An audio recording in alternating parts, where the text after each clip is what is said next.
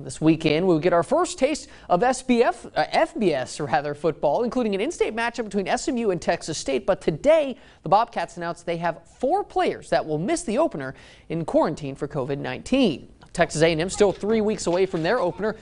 And knock on wood, they have not released any of their COVID numbers, but Jimbo Fisher said they have not had many problems on that front, lauding his team's diligence in the process.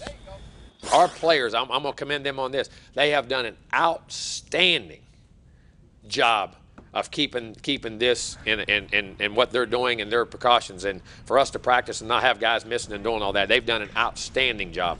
Very mature and very disciplined in that regard.